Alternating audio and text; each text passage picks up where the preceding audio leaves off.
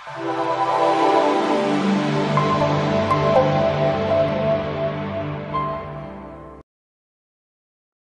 Video में मैं आपको क्लास के बारे में बताऊँगा। जैसा कि आप जानते हैं कि पाइथन एक ऑब्जेक्ट ओरिएंटेड प्रोग्रामिंग है तो ये ऑब्जेक्ट्स और क्लास पे बेस कर रही होती है। पाइथन में हर चीज़ ऑब्जेक्ट है।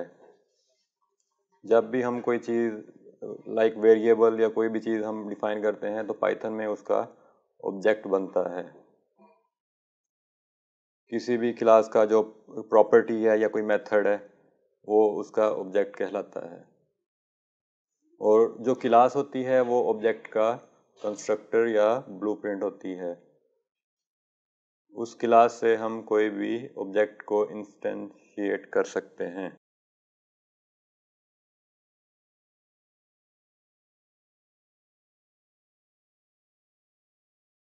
क्लास को क्रिएट करने के लिए क्लास का कीवर्ड यूज़ किया जाता है। जैसा कि मैं क्लास डिफाइन करता हूँ। माई क्लास अब इसके अंदर क्लास के अंदर हम उसकी प्रॉपर्टीज़ और मेथड्स को डिफाइन कर सकते हैं। कोई भी वेरिएबल होता है जो क्लास के अंदर, वो उसकी प्रॉपर्टी कहलाती है। और मेथड जो होता है वो फ़ंक्शन होता है जिसने कोई ऑपरेशन परफॉर्म करना होता है। लाइक एक्स यहाँ तक तो हमारी जो क्लास है वो डिफाइन हो चुकी है। अब हम कोई ऑब्जेक्ट बनाना चाहते हैं तो उसके लिए क्लास का कंस्ट्रक्टर कॉल करना पड़ेगा। क्लास का कंस्ट्रक्टर उसी के क्लास के नेम नेम नेम ही होता है, लेकिन उसको हम एज ए फ़ंक्शन कॉल करते हैं। लाइक चेक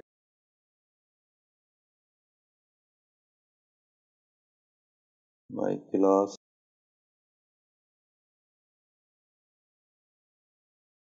हमने क्लास का ऑब्जेक्ट क्रिएट कर दिया है।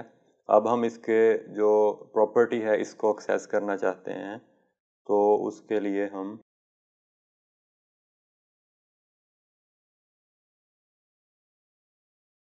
ऑब्जेक्ट नेम प्रॉपर्टी जो कि हम एक्सेस करना चाहते हैं। तो आप देख सकते हैं, हमने पहले क्लास क्रिएट की, उसके बाद उसका ऑब्जेक्ट बनाया और ऑब्जेक्ट बनाने के बाद हमने उसकी जो प्रॉपर्टी है उसको एक्सेस कर लिया थ्रू ऑब्जेक्ट नेम जैसा कि आप जानते हैं क्लास एक ब्लूप्रिंट होती है तो जब भी हम कोई ऑब्जेक्ट क्रिएट करते हैं क्लास का तो उसका अपना प्रॉपर्टी और मेथड होता है, जो कि दूसरे ऑब्जेक्ट से सेपरेट होता है। तो जब हम किसी भी एक ऑब्जेक्ट को कॉल करेंगे, किसी भी एक ऑब्जेक्ट के प्रॉपर्टी या मेथड को कॉल करेंगे तो वो दूसरे ऑब्जेक्ट के प्रॉपर्टी या मेथड को इफ़ेक्ट नहीं करेगा। इसी तरह हम कोई फ़ंक्शन डिफाइन करते हैं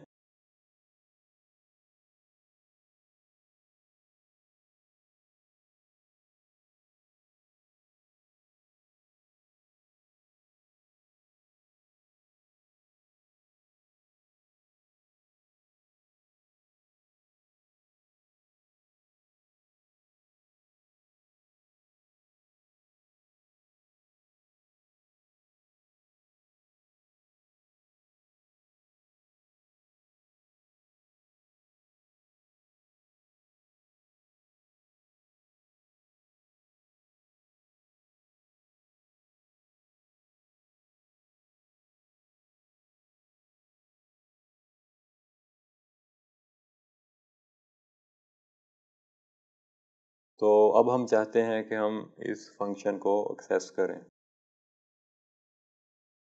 उसके लिए same object name and then function name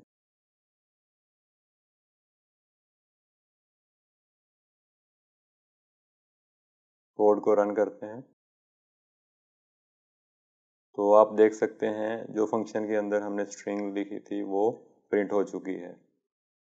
तो इसका मतलब है कि जब भी हम ऑब्जेक्ट क्रिएट करते हैं तो वो क्लास से उसके जो प्रॉपर्टीज़ और मेथड्स हैं, उनको बोरो कर लेता है और उसके बाद जब हम उसको ऑब्जेक्ट क्रिएट करते हैं और उसके बाद उसके जो प्रॉपर्टीज़ या मेथड्स को कॉल करते हैं तो वो अलग से ही उनको कॉल कर रहा होता है।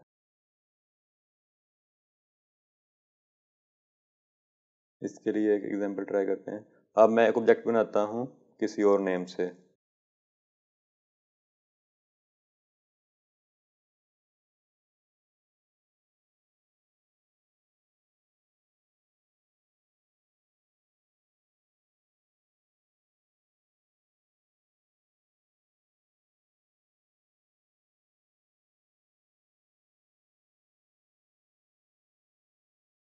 और अब मैं चाह रहा हूँ कि इस ऑब्जेक्ट के अंदर जो x की वैल्यू है, वो मैं चेंज कर दूँ। तो object one dot x is equal to 5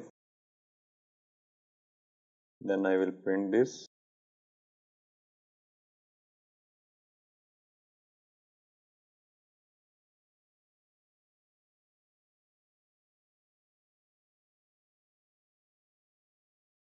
तो आप देख सकते हैं कि जो ऑब्जेक्ट वन है उसमें एक्स की वैल्यू फाइव हो चुकी है।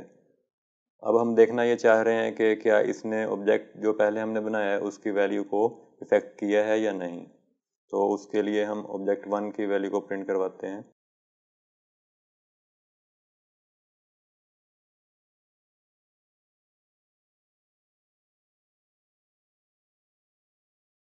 तो आप देखें यहाँ पर जो फ़र्स्ट हमने ऑब्जेक्ट क्रिएट किया था, उसमें एक्स की वैल्यू थ्री थी।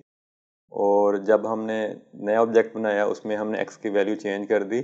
लेकिन उसने फ़र्स्ट ऑब्जेक्ट की जो एक्स की वैल्यू थी, उसको इफ़ेक्ट नहीं किया। तो इसका मतलब है कि जब हम कोई ऑब्जेक्ट बनाते हैं किसी क्लास का तो वो उसके प्रॉपर्टीज़ या मेथड को बोरो करता है। लेकिन उसकी एक अलग से मेमोरी में स्पेस बन जाती है। जब हम एक ऑब्जेक्ट की किसी वैल्यू को चेंज करते हैं तो वो दूसरे ऑब्जेक्ट की वैल्यू जो के उसी नेम से होती है, उसको इफ़ेक्ट नहीं करता। ये तो थी क्लास की एक सिंपल एग्जांपल लेकिन जब हम रियल लाइफ में प्रैक्टिकली क्लास क्रिएट करते हैं तो सबसे पहले हम उस क्लास के अंदर इनिट का फ़ंक्शन डिफाइन करते हैं। जो कि जब हम कोई भी ऑब्जेक्ट क्रिएट कर रहे होते हैं क्लास का तो वो ऑटोमेटिकली रन होता है और जो हमारा ऑब्जेक्ट है उसको उसकी जो प्रॉपर्टीज़ और मेथड्स को इंस्टेंशिएट करता है या इनिशलाइज करता है।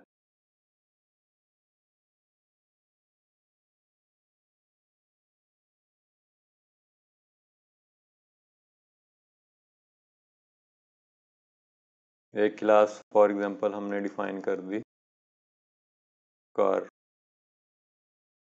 अब हम इसके अंदर का फ़ंक्शन डिफाइन करेंगे।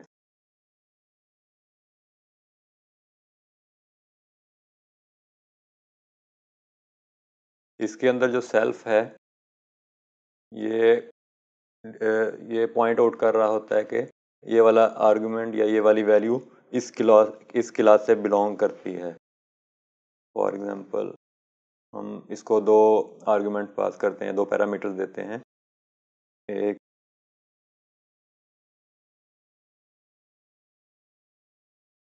मॉडल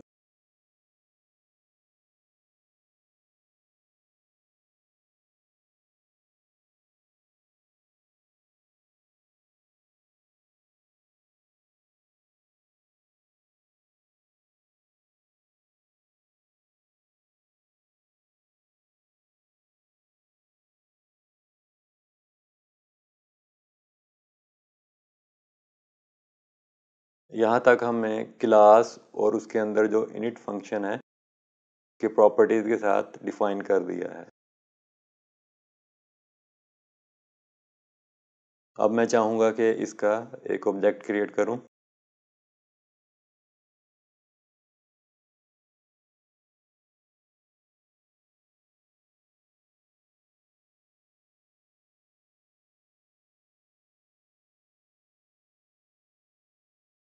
तो यहाँ पर मैं जो अपने आर्गुमेंट्स हैं, उनकी वैल्यू पास करूँगा। फॉर एग्ज़ाम्पल मेक है।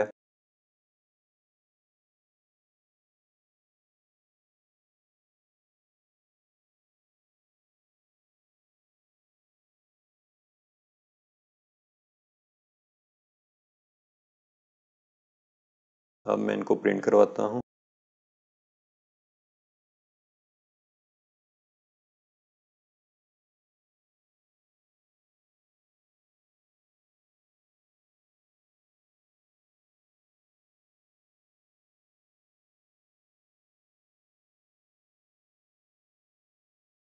तो आप यहाँ पर देख सकते हैं कि जो हमारा ऑब्जेक्ट क्रिएट हुआ है, उसकी जो प्रॉपर्टीज़ हैं वो प्रिंट हो चुकी हैं। इसी तरह हम इस क्लास का मेथड डिफाइन करते हैं।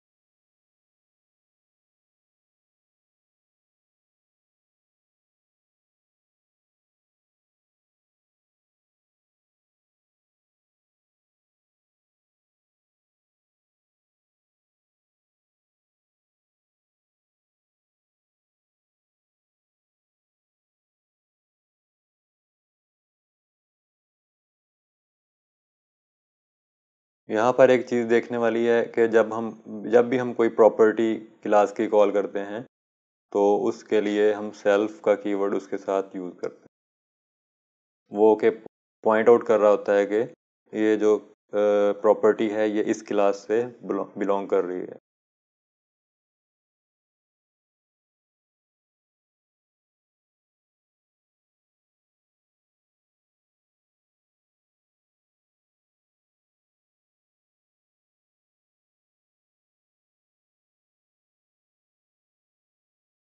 अब हम इस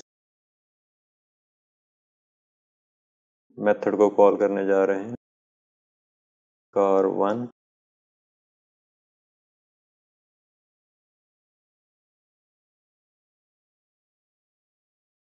तो आप देख सकते हैं कि हमने इस तरह से क्लास बनाई और उसके ऑब्जेक्ट्स को बनाया और जो उसके प्रॉपर्टीज़ और मेथड को एक्सेस किया।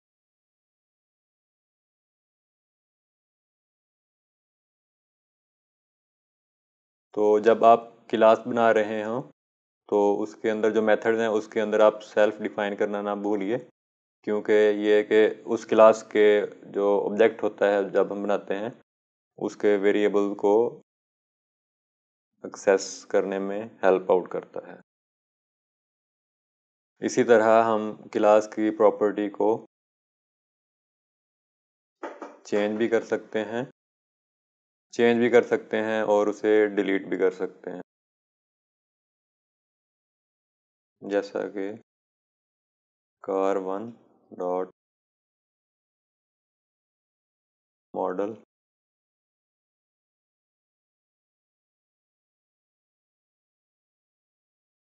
अब हम इसे प्रिंट करवा के देखते हैं।